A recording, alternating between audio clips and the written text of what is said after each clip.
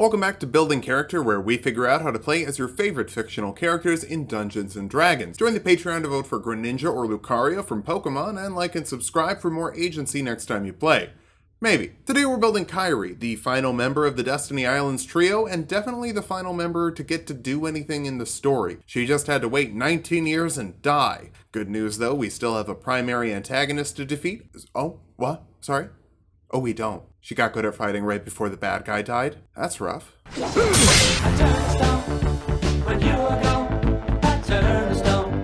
Let's start off with our goals for this build. First, we need healing magic. You're the third member of the group, and the third members always heal and die for the plot. You should start a union with Xion and Ventus. Next, we need some elemental magic. You might be the most spell-focused Keyblade wielder in the series, so we'll go for the biggest spells. Finally, we still need skills with a sword, especially when we've got the power of friendship with us. For stats, we'll be using the standard point array from the player's handbook. Roll for stats if you want, just watch your multi-classing minimums. Charisma will be number one. Everyone loves Kairi, and you need friends to have the power of friendship. Dexterity next, when you finally do get to fight, you're pretty fast with nimble hops and dodges. Wisdom after that, if you're going to be bringing the heals, it would be nice to have some medicinal skills. Follow that up with intelligence, you do train with Lea in the hyperbolic time chamber, and compared to Sora, you're a genius.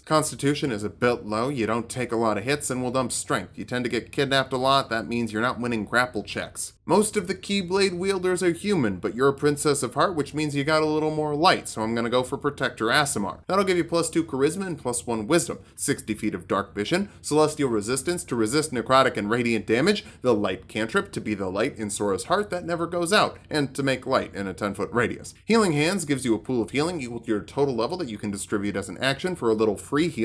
Build your own background. For acrobatics and medicine proficiency, it's always easier to administer pharmaceuticals when you do a backflip first. We'll kick things off as a sorcerer for two skills from the sorcerer list like persuasion and insight to better know how your friends are feeling and to talk them out of some of their worst ideas. You're the brains of the operation with a plus one intelligence modifier. Yikes. Specifically, we're going to be a Holy Soli, or a Divine Soul Sorcerer for more radiance and healing with our elemental magic. You're favored by the gods, giving you 2d4 to add to a failed saving throw or attack roll once per short rest. You can even use it on death saving throws, but that doesn't guarantee you'll succeed though. We're mostly here for spells and cantrips. Firebolt is a ranged spell attack that deals 1d10 fire damage. Ray of Frost is a ranged spell attack that deals 1d8 cold damage and slows a target down by 10 feet. Shocking Grasp is a melee spell attack that deals 1d8 lightning damage and prevents the target from taking a reaction to stop the baddies from chasing you, and Spare the Dying stops a creature from rolling death saving throws. Maybe this time you'll be the one to save Sora. Probably not. Your first level spells, Cure Wounds heals 1d8 plus your Charisma modifier as an action to a creature you touch. It's the most basic healing you can get. Shield makes a little barrier that adds 5 to your AC as a reaction. That should help you stay alive since the only fight you're in is the final boss fight of the trilogy. Second level sorcerers get a Font of Magic, giving you a pool of sorcery to recover spell slots and do some other stuff later. I'm not going to spoil it, like I did with Kairi dying. I kind of kick the video off with that. For this level spell, Mage Armor makes your AC 13 plus your Dexterity modifier for 8 hours. It's just a little unarmored defense since you're mostly tanking hits with magic. Third level sorcerers get Meta Magic to augment your spells with sorcery points. Quicken Spell lets you cast a spell as a bonus action that normally takes an action, helping you get your healing going faster. Heightened Spell lets you give a creature disadvantage on saving throws on a spell you're casting. You're fighting a dude who's like 13 people. He's probably pretty good at saving throws. For this level spell, Magic Weapon gives you a Keyblade, making a weapon magical in terms of overcoming resistances and adding one to the attack and damage rolls with that weapon for an hour depending on your concentration. You're just gonna have to wait a few years to actually use it. But as an Aasimar, you will be able to use it with your Radiant Soul, meaning that you'll have a flying speed. You can add your level in radiant damage to one attack per round for a minute, which could make you fight pretty good if you had any weapon proficiencies. You don't yet. So actually, really quick, fighter level 1, weapon proficiency and a fighting style. Dueling adds 2 to your damage with one-handed weapons, and second wind heals 1d10 plus your fighter level as a bonus action to yourself. It's cure, but just for yourself. It's fine. Sorcerer level 20 is terrible, this is just as useful. Fourth level sorcerers get an ability score improvement, bump that charisma modifier up. It's a shame we can't cap it off, but we'll get there, don't sweat it. For this level spell, Scorching Ray is some rapid fire fire. You shoot 3 balls of fire that deal 2d6 fire damage each. You can aim them at one Xehanort or multiple Norts of Zehan. That's the plural of Xehanort, it's like attorneys general. Fifth level sorcerers get third level spells. All of my favorites are here, including Lightning Bolt, which will step up your thunder for a 100 foot line of dexterity saving throws and 8d6 lightning damage to those that fail, half as much to those that succeed. It's shocking how good you are at casting in your first fight. 6th level Holy Soulies get Empowered Healing, letting you spend a sorcery point to give a buddy within 5 feet of you a chance to reroll one healing die. I keep saying buddy, but it's just Sora or Lea. Those are the two people you've fought next to, but if you do find more friends, Mass Healing Word heals up to 6 creatures, a d4 plus your Charisma modifier as a bonus action. So Sora, Protosora, Post-Sora, Transclone Sora, Data Sora, and Dinosora all get a little bit of health. I'm upset that Dinosora is the fake one. Dinosaur is an underrated Disney movie. 7th level sorcerers get 4th level spells. Ice Storm forces a dexterity saving throw on creatures in a 20 foot radius, 40 foot high cylinder, dealing 4d6 cold damage and 2d8 bludgeoning damage to those that fail, half as much to those that succeed. It's always important to continue the Blizzaga saga.